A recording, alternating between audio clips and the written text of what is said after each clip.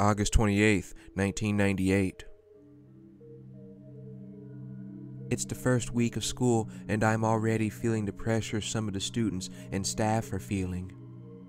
As an elementary school teacher, it's my job to educate as well as keep the children safe. As such, I try to keep the talks about the bad smelling men to a minimum. I found that Aria the dactyl works well in educating the children and keeping their minds off the bad smelling men. I hope everything blows over soon. September 13th. One of my girl students, who calls me Precious Sisson instead of Miss Sisson, came to me and asked me about the buddy system the RPD has been talking about.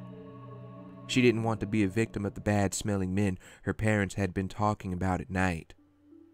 I knelt down and assured her that as long as she stays close to an adult that she knows and trusts and practices the buddy system, she won't have to worry about the bad smelling men.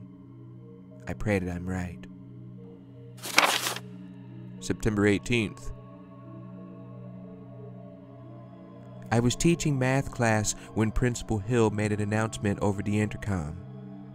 School was to be dismissed early and for everybody to pair up and practice the buddy system. It was at this moment that we heard several shots ring out. The shouts and screams of the children are still in my mind. The one student that calls me precious shouted that there was a bad smelling man outside the entrance and the police at the door had shot him. She hugged me tightly as she cried on my chest. Now I'm starting to get scared.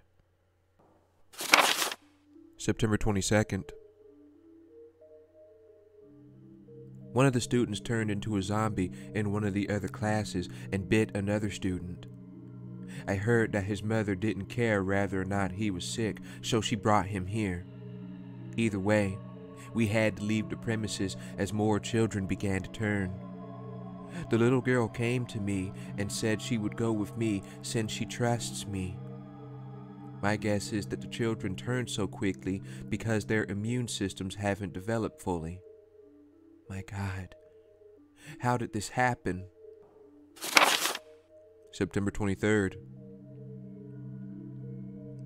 The little girl and I elected to stay at my house while we wait for help. I've shut all the blinds, locked the doors, and turned off all the lights. Upstairs, I watch as zombies roam, and I thought I saw a crawling monster with a long tongue out in the street. My student told me that she loved me as she held me. I have to protect her.